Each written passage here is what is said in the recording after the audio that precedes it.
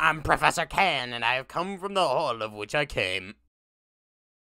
Yes, it is I, Professor Can, and I'm here to do destruction across the world. Oh no, Professor Can. I, I gotta help this city. It's Duugnut, just a normal dude with orange shorts over his jeans. Yes, it's me, Professor Can, and I'm gonna grow big with my potion. What? You have a growing potion?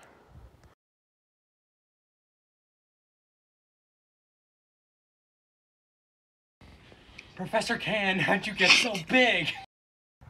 You're so big, I gotta get my watch to get the magic balls to kill you. Balls, come on. Yeah, okay, I think this is enough to kill him. Oh! Woo! Oh no! Ah! It's great to know that I can stay in my house and know that I am safe.